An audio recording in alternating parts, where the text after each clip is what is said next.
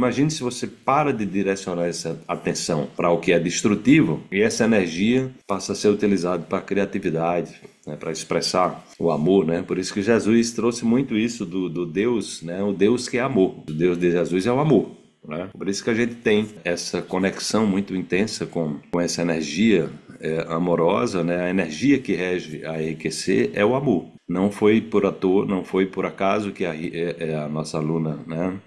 Embaixadora quântica Gilda, ela, ela no, na argogonite dela, da RQC, onde tem a selenita laranja, ela, ela ouve o sol quando bate, reflete o santo sudário, um negócio assim milagroso, a coisa mais linda do mundo. Né? Desde, desde sempre continua refletindo o santo sudário, e tem um outro que reflete uma nave, assim, uma nave muito bonita também. Então tem a ver com, com essa conexão, né? né?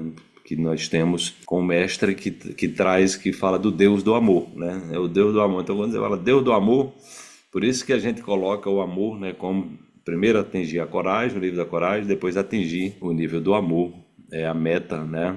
E, de, e, o amor seria o segundo portal, porque na verdade a coragem tem depois a disponibilidade, que é uma frequência de 310, né? a coragem é a frequência de 200. E lembrando que é, só 15% da humanidade está acima da frequência da coragem. Né? Então a RQC está possibilitando que praticamente todos, todas as nossas alunas né, é, estão. É, só um, só, eu só encontrei uma pessoa que tem um nível de, de desequilíbrio né, que, que permaneceu no orgulho, mas todas as pessoas que, que estão praticando, a gente é dar coragem para cima, e alguns já acima da, da coragem, né, é, acima da. da é, já na frequência, aqui nós temos a Claudete, está na frequência do amor incondicional, né, então experiências muito legais.